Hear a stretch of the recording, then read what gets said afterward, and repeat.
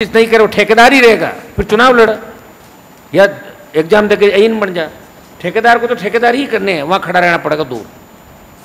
ठेकेदार ठेकेदार की हैसियत में ही रहेगा। ठेकेदार बोझ नहीं बन सकता। ये ध्यान रखना है इनसाफ सुन लो मेरी बात। अगर आपका टेलीफोन नहीं उठा रहा है, जैन के नहीं उठा रहा है, इस बार कह है वहाँ से चला जाऊँ यहाँ से चला जाऊँ, ये नहीं चलेगा भाई। देखो, अभी आपको बहुत प्रेम से हम सारी बातें कह रहे हैं।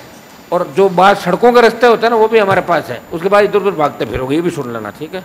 अभी हमने बहुत प्यार किया आप लोगों से पंद्रह साल। और ये बीस जो जी एस एस सेंक्शन बता ना ऐसा ऐसे नहीं बता। मैं बैठा था वहाँ पर जाके। दस हज़ार पंद्रह हज़ार लोग सरकार आ गई थी पूरी। तो ऐसा कोई काम मत करो कि आप भी परेशानियों में पड़ो और करें।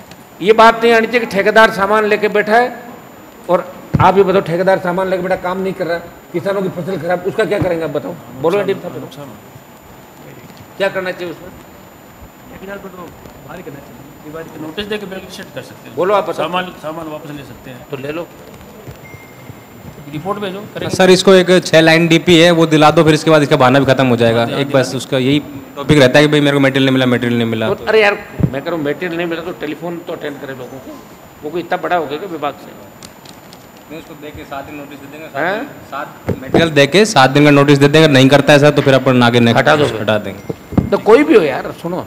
ठेकेदार आप लोगों से बड़ा नहीं हो सकता भाई उसको काम करना है पैसा ले रहा हो। वो फ्री में कर रहा है कि काम।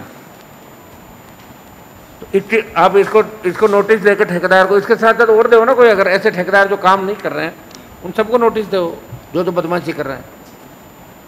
उनको नोटिस दो ऐसा सर। कि, कि भाई तुम ये तुम्हारा सामान सात दिन में काम करो तो करो नहीं करो तो घर जाओ अपना।